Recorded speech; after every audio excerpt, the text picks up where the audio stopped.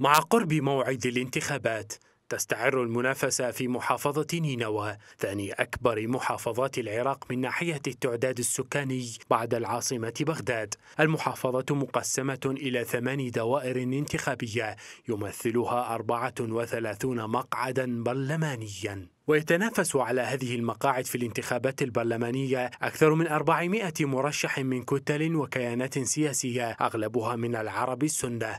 وبدرجة أقل كتل وكيانات سياسية تتبع لتحالف الفتح والذي ينخرط انتخابيا في مناطق تنتشر فيها فصائل تابعة للحشد الشعبي في سهل نينوى. ومنذ مطلع الشهر الماضي تشهد المحافظة توافد زعامات سياسية مختلفة من بغداد والأنبار وصلاح الدين وتحديدا مدينة الموصل مطلقة العديد من الوعود والشعارات المتعلقة بإعادة إعمار المدينة وضواحيها وإعادة النازحين وتعويض الأهالي على الخسائر التي تعرضوا لها جراء الحرب والكشف عن مصير المغيبين من أبنائهم.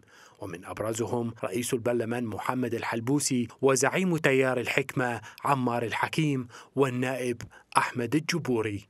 ويعد توافد القيادات السياسية على المدينة أمرا متكررا قبيل الانتخابات فيما تحدث مواطنون عن أن الوعود التي أطلقها المسؤولون في الأسابيع الماضية هي نفسها التي وعدوا بها الناس في انتخابات عام 2018 ويرى البعض أن الجهات السياسية تريد السيطرة على نينوى بسبب وجود مخصصات مالية كبيرة لها ومشاريع إعمار وتطوير. فهذه الجهات تريد الاستحواذ على تلك المشاريع من خلال شركات تابعة لها.